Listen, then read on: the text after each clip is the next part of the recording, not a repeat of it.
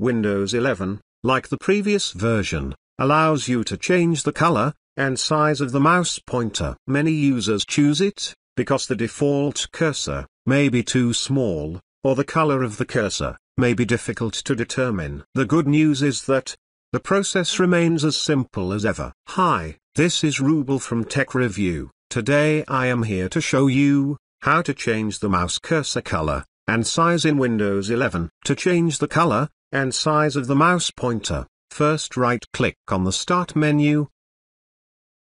Click on the Settings. After opening the settings, on the left side, click on the Accessibility. On the right side click on the mouse pointer, and touch. Now you can see this four options. The first option, is selected by default, and the pointer turns white. Selecting the second option, changes the color of the pointer, to black, as the name suggests.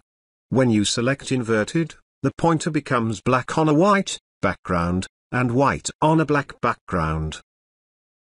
The fourth option, that is custom, allows you to choose any color. When you click on a custom option, the lime color will be selected. By default, you can choose any other color listed below, or, to select a color that isn't on the list. Click choose another color.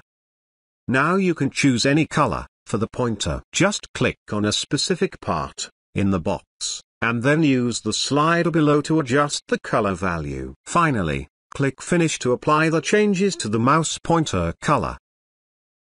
To increase the size of the pointer, drag the slider next to Size, to the right.